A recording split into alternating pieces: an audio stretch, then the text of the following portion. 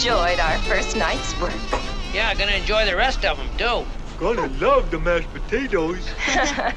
Let's face it, Ma, we're better at singing and playing than we are at laundry and odd jobs. yeah.